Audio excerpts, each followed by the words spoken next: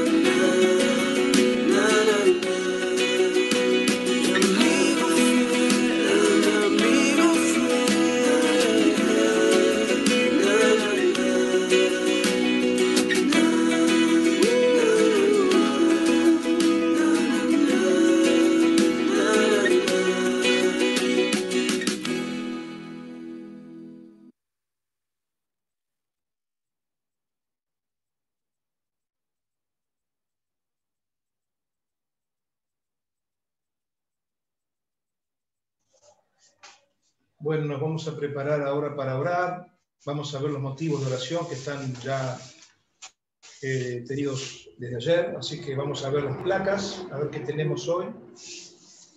Bueno, tenemos allí algunos motivos. Eh, vamos a orar por los motivos que pide Priscila Durá, por el sustento espiritual y material de los hogares de niños.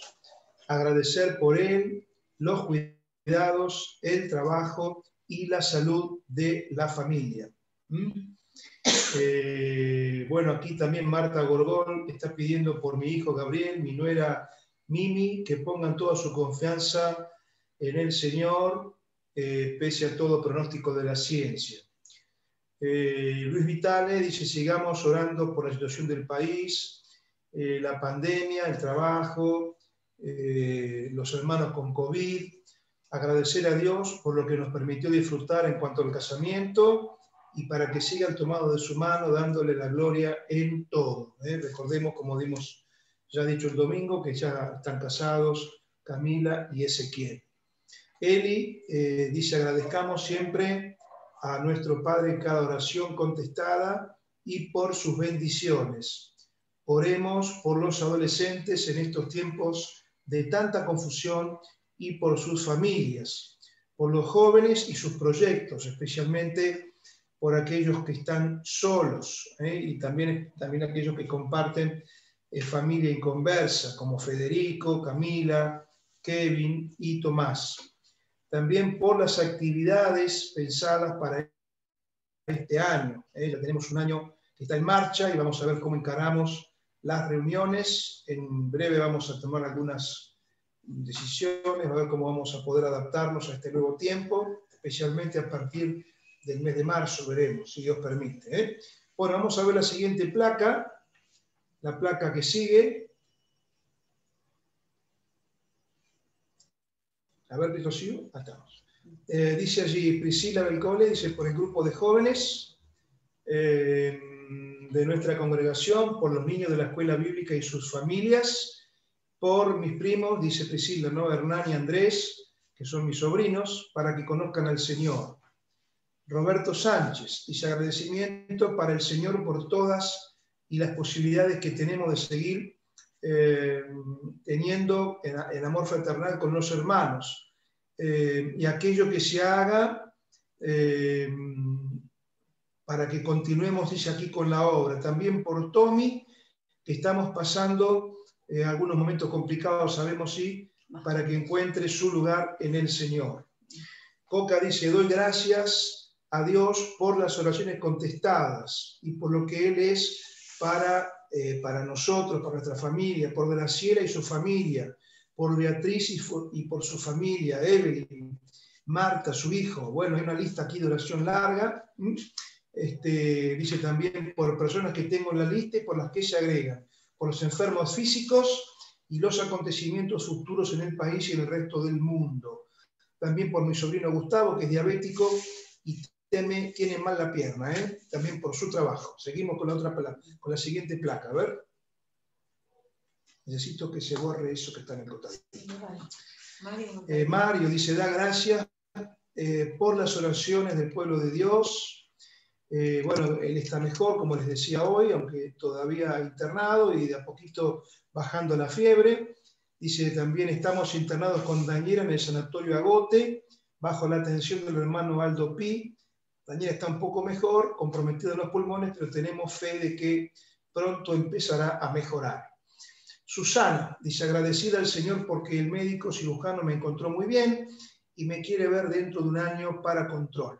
Sigo con kinesiología para tener más movimiento, gracias a Dios, todo bien, por cada oración contestada y por las oraciones recibidas de cada hermano. Motivos generales, eh, también por la salud de Fabián Saura, como ustedes saben, fue operado el lunes, eh, por Judith, que es la esposa de nuestro hermano misionero allí en Chascomús, Alfredo Pose, que tiene que comenzar prontamente con diálisis. Bueno, estos son los motivos que están anotados. Recordemos sumar lo que pidió Roberto y también por el pedido de, de Sandra, ¿eh? por su sobrino. Así que, hermanos, aquellos que deseen orar, tenemos el tiempo ahora para hacerlo con toda libertad. Bueno, los hermanos que están eh, varones, ¿verdad? Que están bautizados, así lo podemos hacer. Adelante.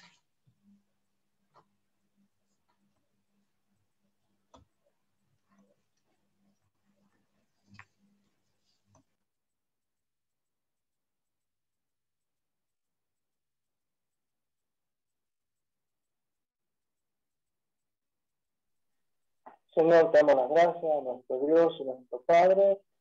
Y así gracias te damos, Padre, en este momento, al traer a la memoria, Señor, tu fidelidad, como también tu sostén tu providencia, Señor. Y también, Padre, gracias te damos porque tú lo entregaste por amor a cada uno de nosotros, tu Hijo amado. Y allí, Señor, Él padeció, Señor, en la cruz por cada uno de nosotros y derramó su preciosa sangre. También, Señor, gracias porque Él resucitó y gracias, damos porque también está tu vida.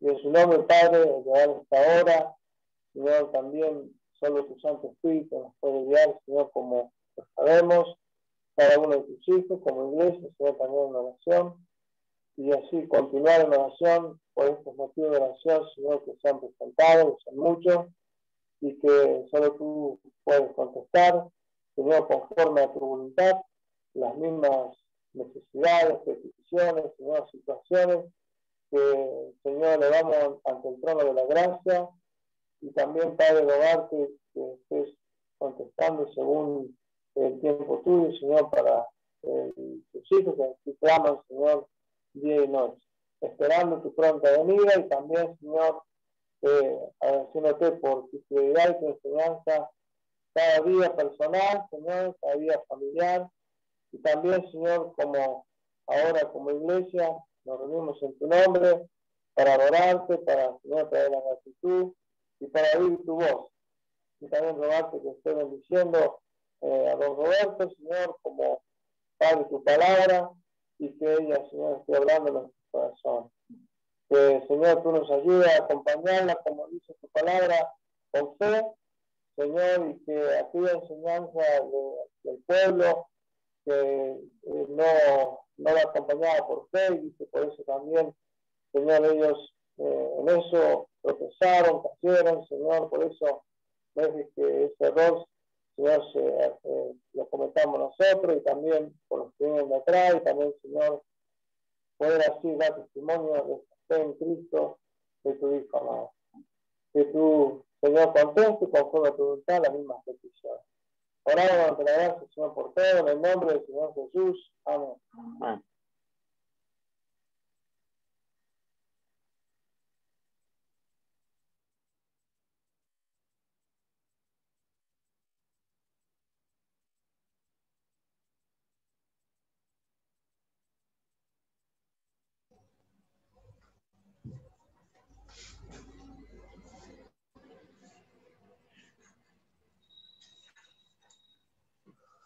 Te damos gracias, nuestro Dios, por esta nueva oportunidad de orar.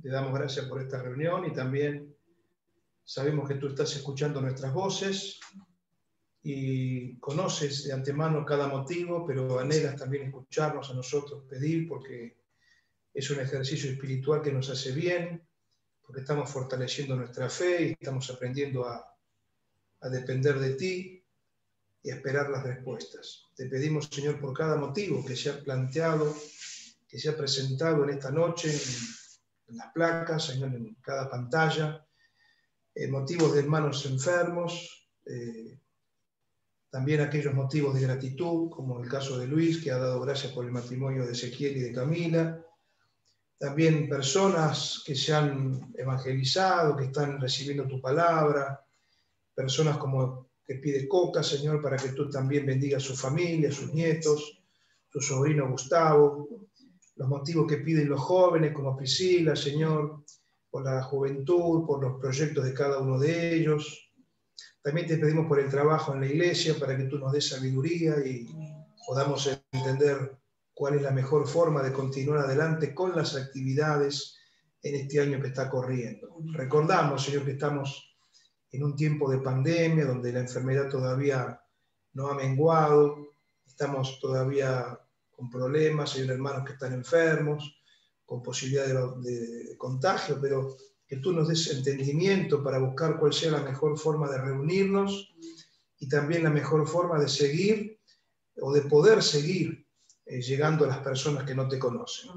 Que bendiga, Señor, también los motivos hermanos con problemas de salud, recordamos a Mario, como siempre, también a, Daniela, te pedimos por Fabián Saura, te pedimos por Judy, la esposa de nuestro hermano Alfredo Pose.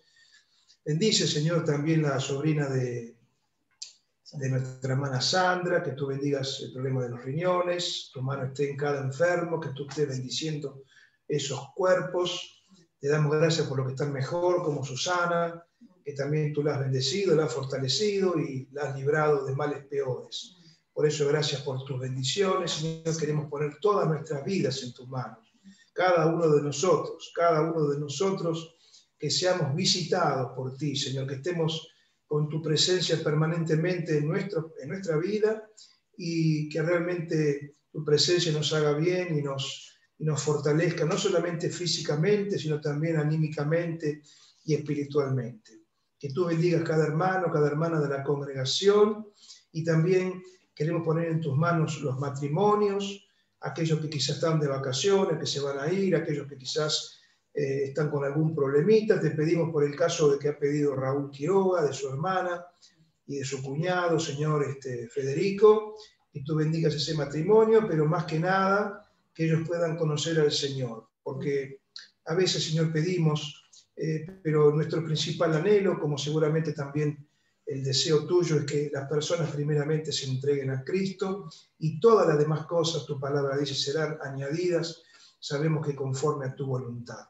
También te pedimos por Noelia Julio, por sus hijos, Señor, también por Tomasito, por Rodrigo, por Roberto Sánchez, que tú bendigas cada situación, Señor. Hay situaciones que a nosotros nos parecen imposibles, hay cosas que nos, nos cuesta resolver, pero tú eres el Dios soberano y entregamos en tus manos cada problemática.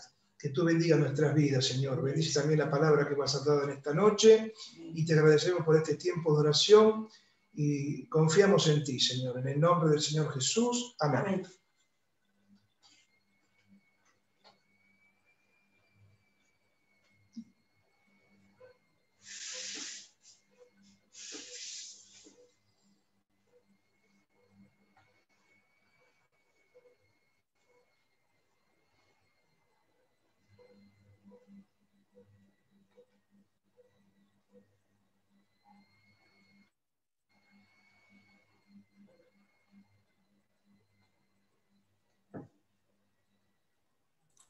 Padre que estás en el cielo, Señor, nos ponemos delante de tu presencia para, como pueblo tuyo, Señor, llegar con estas peticiones que han salido de nuestro corazón, de cada uno de los que estamos, componemos la iglesia, Señor de Salcedo.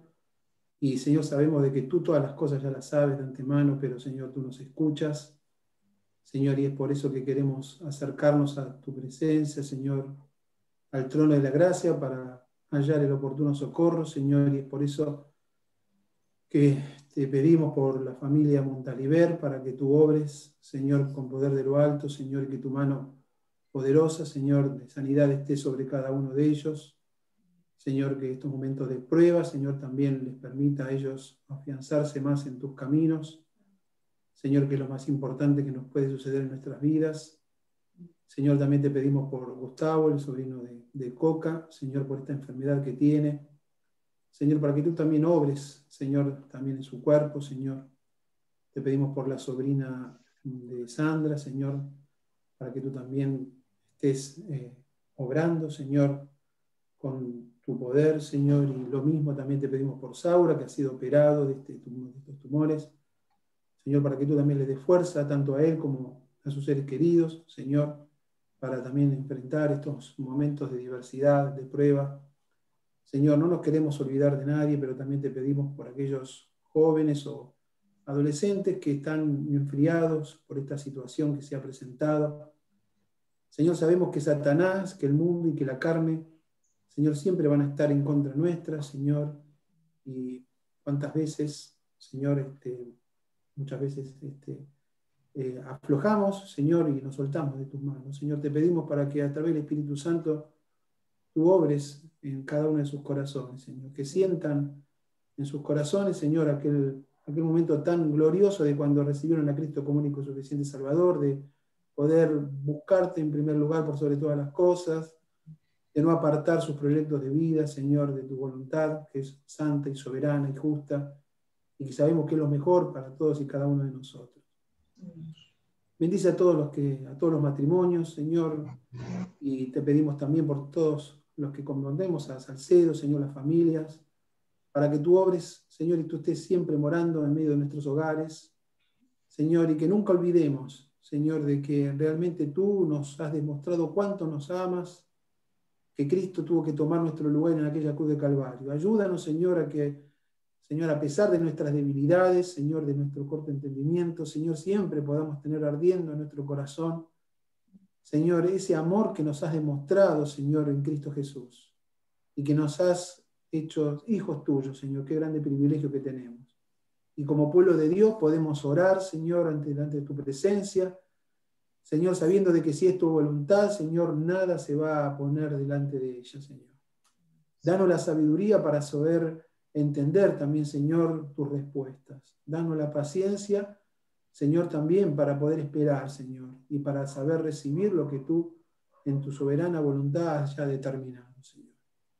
Te pedimos este, por esta pandemia, Señor, para que se pueda ir. Señor, sabemos que tú estás en el control de todo, pero ayúdanos a que como hijos tuyos, Señor, esto nos sirva de experiencia para estar más unidos, Señor, y también para decirle al mundo que Cristo está cerca también y que es necesario tener a Cristo como único y suficiente Salvador. Te pedimos por la situación de este país, para que también tú obres en los gobernantes, Señor, para que en los hogares, especialmente de tus hijos, Señor, no falte el alimento, Señor, no falte el trabajo. Señor, y también te pedimos por aquellos que capaz que están pasando por problemas, Señor, espirituales, Señor, de, de angustia o de necesidades, Señor, Señor, que tú también puedas eh, hacerles sentir tu presencia, Señor. Te pedimos por el hogar de niños también, para que ellos puedan ser también este, confortados, Señor, con, tu voluntad, con tu poder, Señor, de lo alto, y que también las ofrendas puedan llegar hasta ellos, Señor, que muchas veces están desamparados, pero te pedimos por, también por su vida espiritual, Señor. Señor, esto lo ponemos en tus manos, Señor, y también te pedimos para que nos permitas, al escuchar tu palabra, Señor, ser receptores, Señor, de lo que tú tienes que decirnos a todos y cada uno de nosotros, y no ser oidores, Señor, sino también hacedores de la palabra. Bendice a aquellos que no están presentes, Señor, que no están reunidos en estos momentos, en el lugar que se encuentren. Señor, que tú los acompañes, Señor. Y estas cosas las dejamos en tus manos preciosas y poderosas. Y lo hacemos en el nombre precioso de Cristo Jesús, nuestro Salvador. Amén. Amén.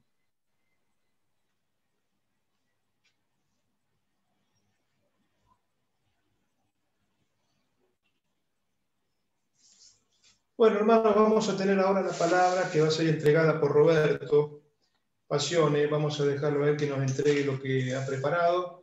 Así que, Roberto, adelante, te damos a vos ahora el, tiempo para poder entregarnos el mensaje. Adelante. ¿Se escucha bien? ¿Se escucha bien ahí? Sí. Porque yo con, esto, en estos dichos modernos, no, no, no soy muy amigo. Eh, bueno, quisiera en primer lugar eh, orar para que Dios nos, nos guíe en lo que vamos a, a meditar en esta noche. Padre Santo, te agradecemos, Señor, por todo lo que hemos eh, presentado delante de tu presencia en las oraciones, que te acontece de acuerdo a tu voluntad. Y también, Señor, me ayudes para poder transmitir, Señor, algún pensamiento de bendición para todos los hermanos. También para alguna persona que aún todavía no te conoce.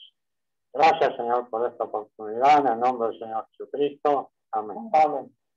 Bueno, quería compartir unos pensamientos eh, pensando en los momentos que estamos eh, pasando esto el año pasado y también en este año, como se dice que todavía eh, los brotes de la pandemia todavía no han finalizado.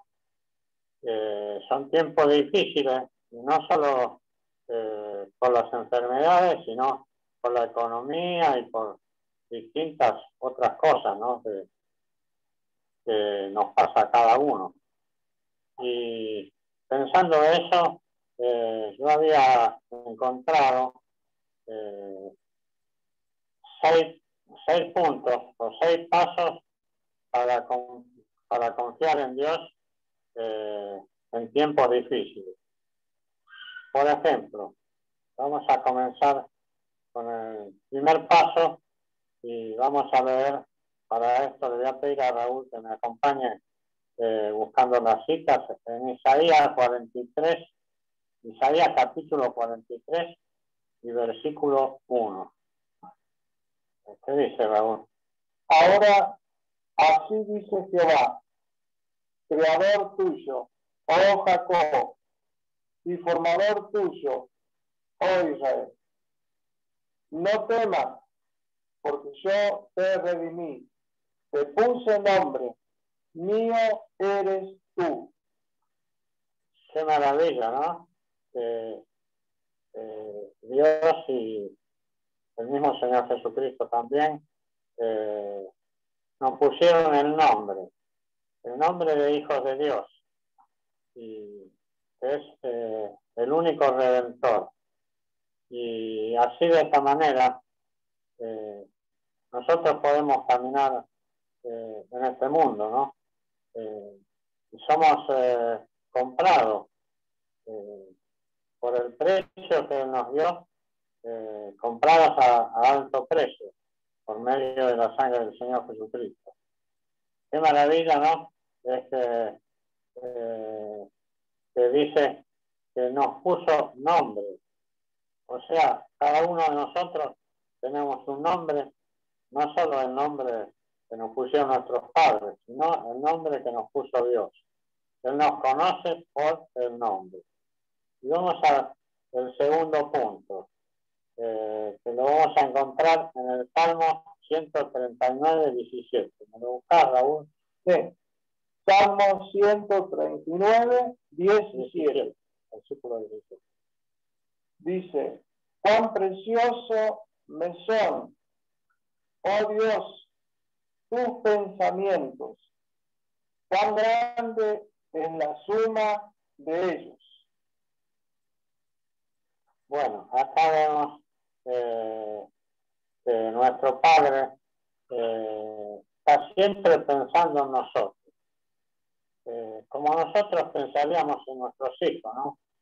¿Qué padre no pensaría en el hijo continuamente, ¿no? Para que le vaya bien en la vida, para que haga todas las cosas que, sea lo mejor para él, ¿no? Así, así nosotros disfrutamos del pensamiento de Dios. Él está siempre pensando en nosotros.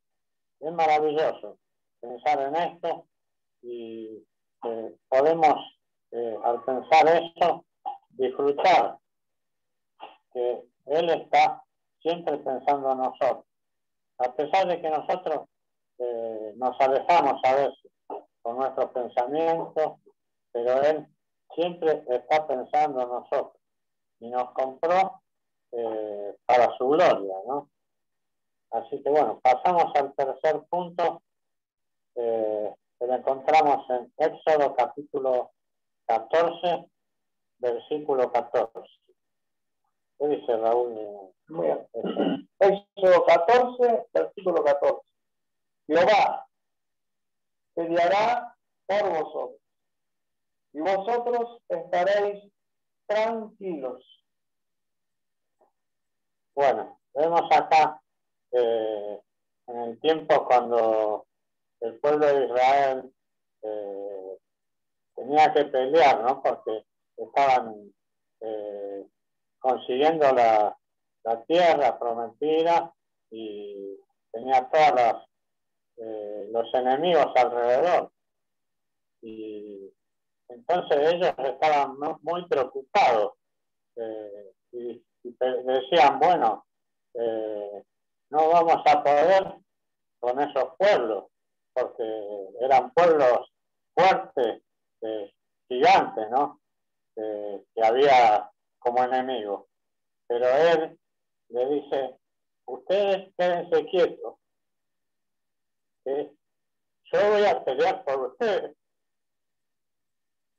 Entonces eso es, maravilloso, ¿no? Pensar y a nosotros nos, eh, nos pasa lo mismo. Eh, tenemos muchos enemigos en este mundo. Tenemos eh, a veces luchas espirituales y también materiales, ¿no? Y, y él, podemos estar tranquilos, que Él va a pelear por nosotros, así como, como peleaba por el pueblo de Israel. Y muchas veces hemos comprobado eso, ¿no? Eh, me acuerdo eh, en mi vida mucha gente eh, me han hecho algún mal y yo siempre decía, es una maravilla como Dios pelea por nosotros. Yo sin hacer nada, Dios tomaba partido cuando cuando alguien le quiere hacer mal a un hijo de Dios, Dios cómo nos defiende. Podría contar muchos casos, pero ahora no lo voy a hacer por amor al tiempo, ¿no? Pero qué lindo es saber que Él pelea por nosotros eh, en esta vida y continuamente nos está ayudando. Y para hacer rápidamente, vamos al cuarto punto, que lo encontramos en el Salmo 62, del 6 al 8. Raúl, ¿me lo buscas? Bueno, dice Salmo 62, sí, versículo 6 al 8. Él solamente es mi roca y mi salvación. Es mi refugio. No resbalaré. En Dios está mi salvación y mi gloria. En Dios está mi roca fuerte y mi refugio. Esperad en Él en todo tiempo, oh pueblos. Derramad delante de Él vuestro corazón. Dios es nuestro refugio. Qué maravilla, ¿no? Eh, que Él sea nuestro refugio, donde podemos refugiarnos en todo momento, como lo hacía eh, los antiguos, ¿no? Siempre me acuerdo el pasaje de Elías, cuando él eh, se tuvo que esconder en una cueva, ¿no? Y nosotros, la cueva nuestra es el Dios que tenemos, Jehová.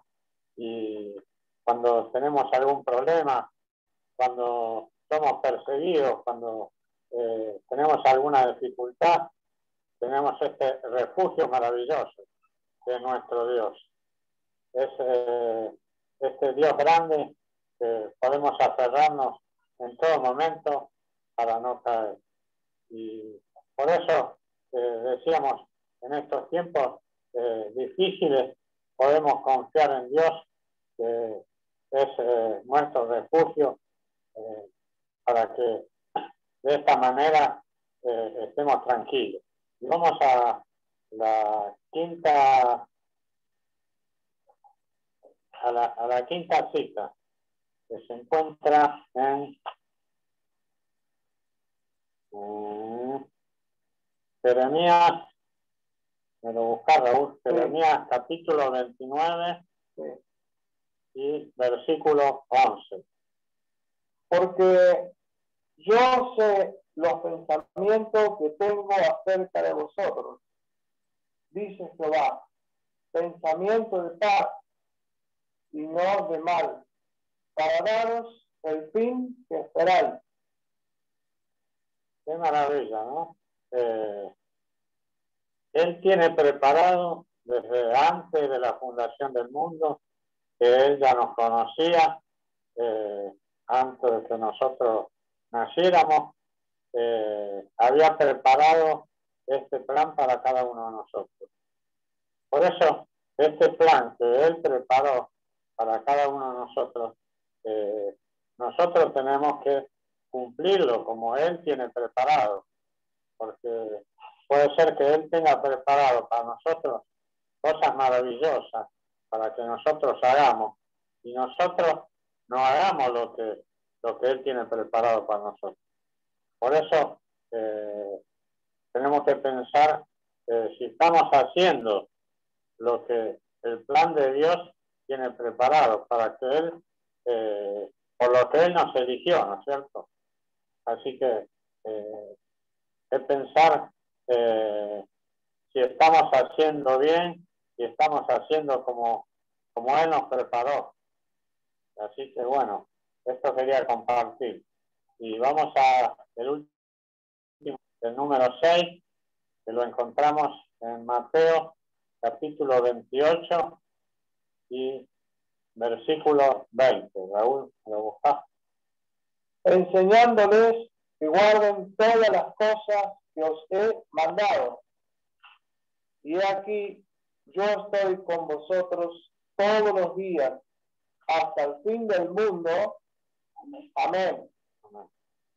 Eh, no solo que Él eh, tiene preparado un plan para nosotros, sino que vino el Señor Jesucristo, nos dio ejemplo de cómo teníamos que vivir, cómo teníamos que eh, predicar a otros, ganar eh, almas y, y, después cuando Él se va, eh, nos deja todo preparado para que nosotros eh, sigamos el camino que tenemos que, que seguir como creyentes, ¿no? Por eso es maravilloso pensar estas, estos seis puntos que Dios nos dejó para que nosotros eh, podamos cumplirlo, ¿no? Y estaba eh, mirando eh, algunos algunos ejemplos de, de, creyentes, ¿no? Por ejemplo, tenemos el hermano Jorge Müller, ¿no? como dice el título que le pusieron del Instituto Bíblico, ¿no? Me llamó la atención lo que, lo que él hacía. Por ejemplo, él eh, dice que cuatro veces al año leía la Biblia, total. Total, eh, con la Biblia completa la, la, leía cuatro veces al año. una maravilla, ¿no? Y también eh, veía que él refugio a 10.000 niños. Eh, son eh, hermanos que podemos tomar de ejemplo, no les no le llegamos ni, ni a la punta de los pies, ¿no? y dice que cuenta ya, esto es para reírse, ¿no? Porque dice que cuenta la historia que en una ocasión él estaba en su cuarto orando y le anunciaron que la reina venía para hablar con él. ¿Y sabe qué le dijo él? A la criada le dijo, dígale a la reina que no la puedo atender porque estoy hablando con el rey de reyes. Es una cosa maravillosa, ¿no? Que eh, como él eh, se comportaba, como él eh, decía. Dice que también en una oportunidad, dice que necesitaba pan para los niños, que habían quedado sin pan. Y bueno, dice, bueno, vamos a orar eh, para que Dios nos provea. Y bueno, se pusieron a orar. Y vino un camión lleno de pan. Y dice que, el camión eh, se había llevado al palacio. Y como el pan estaba muy tostado, eh, lo descartaron entonces se lo trajeron a él, donde él tenía, tenía el asilo, ¿no? Y, y, él le dijo que, el pan lo había tostado Dios, porque, claro, y es verdad, Dios le había tostado para que se lo, se lo manden a él, ¿no? Qué maravilla, ¿no? De estos hermanos, que podemos tomar ejemplo Así que bueno, quería compartir esto solo, estos seis puntos, para que pasemos estos tiempos de tiempos difíciles, ¿no? Que estamos eh, atravesando de economía mala y de todo clase de problemas. Pero también quisiera dar una palabrita para aquellos que conocen que no conocen a Cristo como Salvador personal, para que vean que nosotros, así como estamos protegidos por Dios, eh, y, podemos pasar eh, estos tiempos difíciles, así también que algún amigo, alguna amiga que no conoce a Cristo como Salvador personal, le damos la solución para que pase estos tiempos difíciles. Y no solo esto, sino que, eh, como decíamos, hoy hablábamos con un muchacho que también va a la iglesia y, decíamos que lo principal es que si uno, bueno, tiene que enfermarse y pasar a la eternidad, lo principal es ir con Cristo.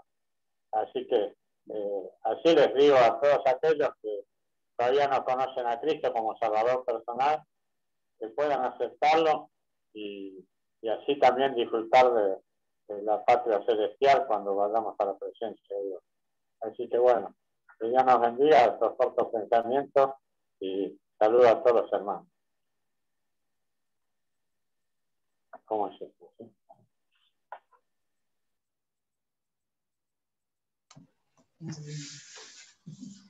Bueno, hermanos, hasta acá llegamos con la palabra y ahora terminaremos la reunión.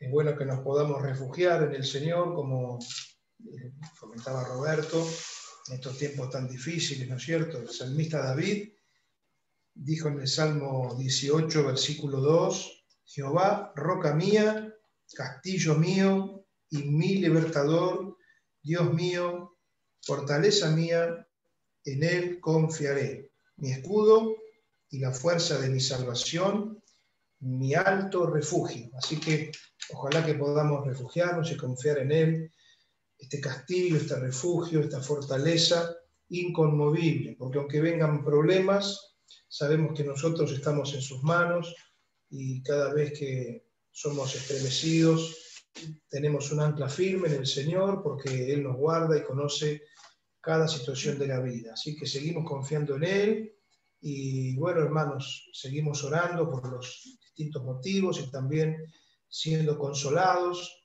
por su presencia y por las oraciones de los hermanos en estos tiempos de tanta necesidad. Vamos a finalizar esta reunión con una palabra de oración. Recordemos que el próximo domingo tenemos la cena del Señor a las 7 y luego a las 20 la reunión general eh, por YouTube, esta última. ¿eh? Así que Solamente vamos a terminar orando. Que Dios bendiga a cada familia, a cada hermano. Gracias por este tiempo que hemos compartido juntos. Le voy a pedir a Marcos, que está allí, y tal, que por favor este, tenga una palabrita de oración final y después nos despedimos hasta la próxima reunión.